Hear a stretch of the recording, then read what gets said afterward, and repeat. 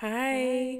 I just want to quickly let you know that I do sell custom. If you like the content that I have on this channel, then you are going to love my customs. Trust me, it's a lot better viewing pleasure than here. As you can see, the prices in blue are for my OnlyFans babes, while the prices in pink are for everyone else on the outside.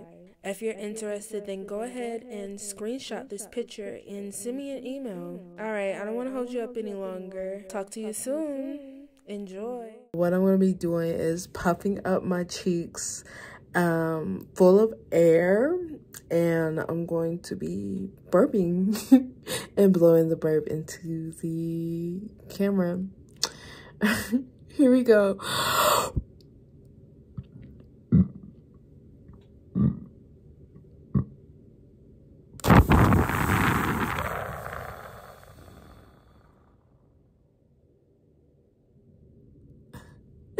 I don't know why, but it makes me kind of lightheaded.